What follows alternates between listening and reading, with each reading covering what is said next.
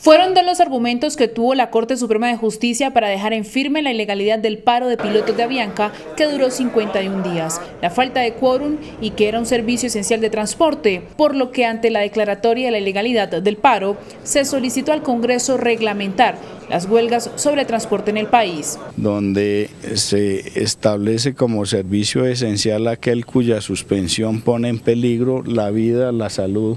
o la seguridad de las personas. Al calificarse el, transporte aéreo de personas como esencial, no podría haber huelgas, tendría que irse a un tribunal de arbitramiento en caso de que la